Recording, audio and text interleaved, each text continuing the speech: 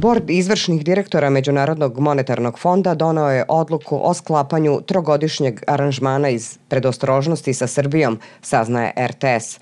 Novi trogodišnji aranžman prema najavama članova vlade Srbije neće podrazumevati novi zajam od MMF-a za jačanje deviznih rezervi Srbije, jer je Srbija dovoljno likvidna te joj kredit nije potreban – Vlada Srbije ovim aranžmanom praktično preuzima u skladu sa zakonom o budžetu za 2015. godinu obavezu da će sprovesti fiskalnu konsolidaciju, restrukturisanje javnog sektora, odnosno strukturne mere i mere makroekonomske stabilizacije, kao i da će u naredne tri godine smanjiti deficit za 1,3 do 1,4 milijarde evra ili za 4,25 BDP-a.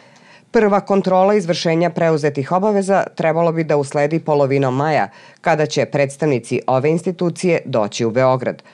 Srbija je u poslednjih 15 godina imala tri sporazuma sa MMF-om, od 2001. do 2004. stand-by aranžman i 2009. aranžman iz predostrožnosti – Poslednji aranžman Srbije i MMF-a sklopljen je krajem septembra 2011. godine, a zamrznut februara naredne godine, jer je budžet za 2012. odstupio od dogovorenog fiskalnog programa.